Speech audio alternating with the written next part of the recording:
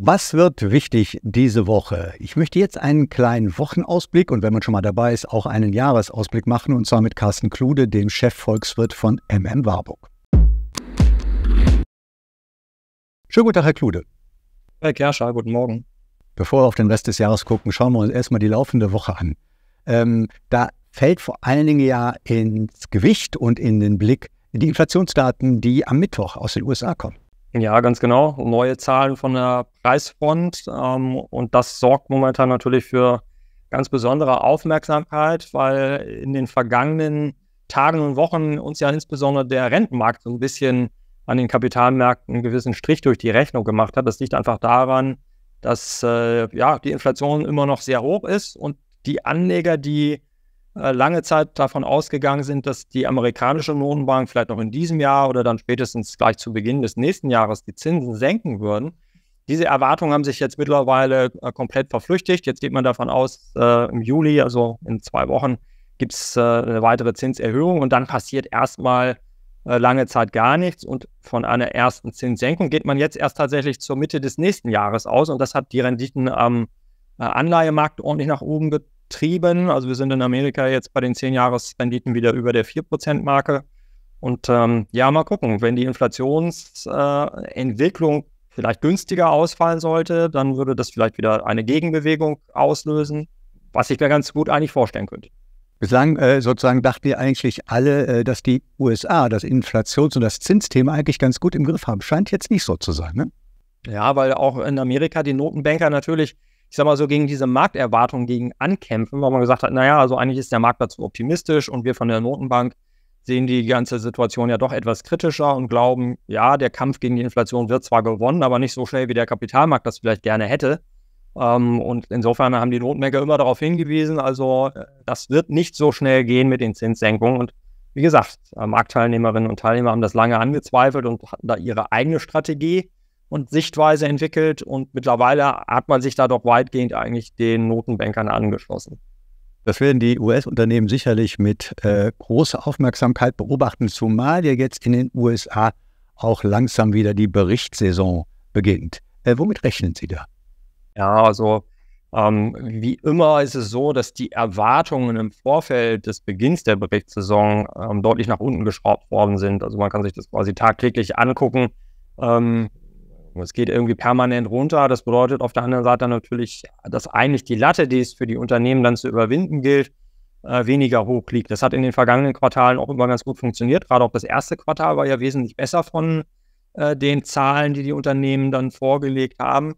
Jetzt für das zweite Quartal wird natürlich die große Frage sein, ähm, ob der Rückenwind über die Preisseite, das heißt also viele Firmen waren ja bislang in der Lage, die gestiegenen Preise zu überwälzen und vielleicht immer noch ein bisschen äh, mehr auch draufzulegen.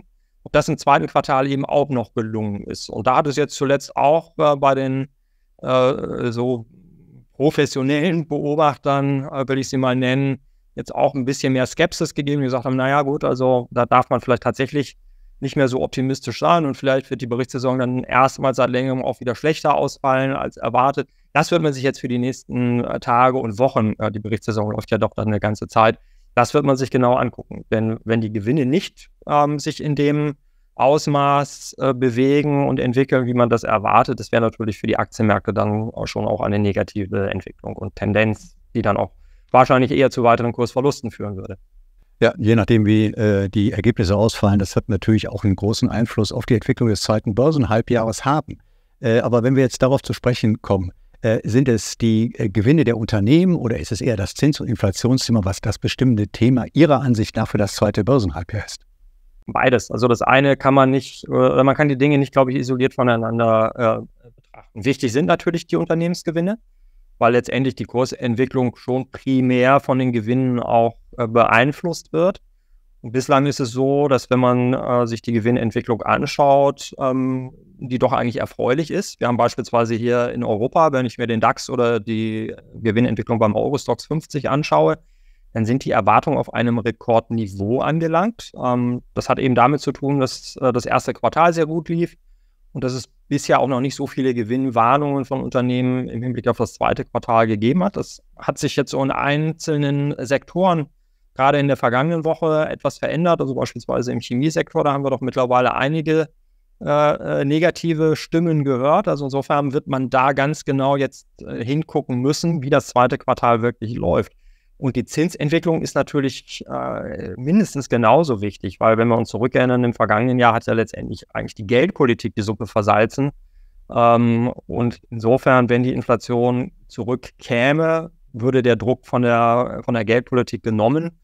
Ähm, und das wäre auch äh, natürlich ein wichtiger äh, Punkt, wenn die Zinsen nicht weiter steigen, dass das für die Bewertungsmultiplikatoren, insbesondere für das Kurs-Gewinn-Verhältnis, äh, gut wäre, äh, weil letztendlich man eigentlich davon ausgeht, niedrigere Zinsen eröffnet das Potenzial für höhere Bewertungen am Kapitalmarkt ähm, und davon würden dann vor allen Dingen auch Technologieunternehmen weiter profitieren können. Also insofern sieht man Gewinne und Inflations- bzw. Schrägstrich äh, Zinsentwicklung sind eigentlich das Entscheidende jetzt für die, für die weitere Entwicklung am Kapitalmarkt, am Aktienmarkt.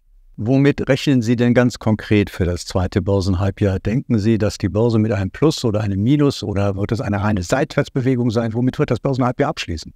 Gut, der Beginn jetzt des zweiten Halbjahres, der war natürlich nicht so toll. Ähm, wir hatten ein klasse erstes Halbjahr, aber im Moment, ich sag mal so, äh, erinnert mich das so ein bisschen, beim Skifahren würde man wahrscheinlich von der Buckelpiste sprechen. Also es geht ein bisschen rauf und runter, von der Tendenz eher im Moment runter.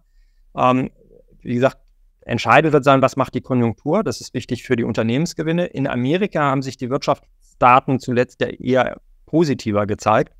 Also von dem, von dem Hintergrund gehe ich nicht davon aus, dass wir in Amerika in eine Rezession fallen werden. Gleichzeitig ähm, spricht vieles dafür, dass die Inflationsraten zurückgehen. Das heißt, eigentlich ein ganz guter Mix, der ähm, auch für das zweite Halbjahr zumindest Kursgewinne, vielleicht nicht mehr in dem Ausmaß des ersten Halbjahres, aber tendenziell eher für Kursgewinne spricht. In Europa haben wir die Rezession, die vor allen Dingen auf die Entwicklung in Deutschland zurückzuführen ist. Das hat viel mit äh, technischen Faktoren zu tun im ersten Quartal, die sich nicht wiederholen sollten. Aber ganz klar ist auch, äh, im Moment sind die Konjunkturdaten eher mau. Also wir werden nur eine Stagnation haben. Insofern ähm, ist das insbesondere dann die Frage, ob die Unternehmen da in der Lage sein werden, ihre äh, Gewinne steigern zu können. Jetzt kann man aber sagen, die Erwartungen für dieses Jahr sind sowieso relativ äh, niedrig, also plus minus null, vielleicht plus ein Prozent.